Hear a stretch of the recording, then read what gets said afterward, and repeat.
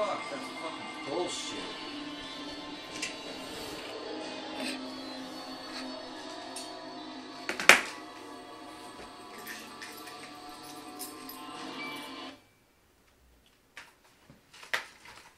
What you putting in next?